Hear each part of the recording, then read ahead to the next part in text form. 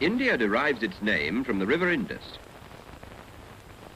Through countless centuries, the way into India has been by the mountain passes of the northwest. And by this route, India has been invaded again and again. And so it's not surprising that we find a great many relics of past conquests in the north and west of India today. Ancient monuments, forts and palaces, whose styles remind us of the Persian and Mohammedan origins of their builders. But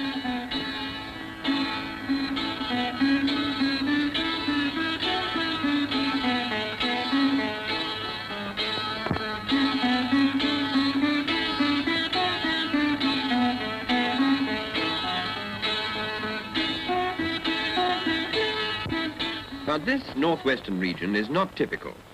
We must travel many miles to get a true balanced picture of this great and varied country.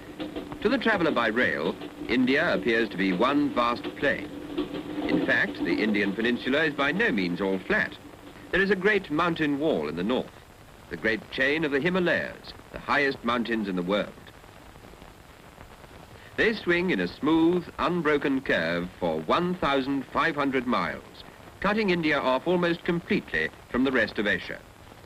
There is the great lowland plain, more than 2,000 miles from end to end, through which flow the great rivers Indus, Ganges and Brahmaputra. And there is the great plateau, embracing all India south of the lowland plain. This plateau is flanked by a narrow coastal strip and is broken by mountains here and there mountains such as the Nilgiris,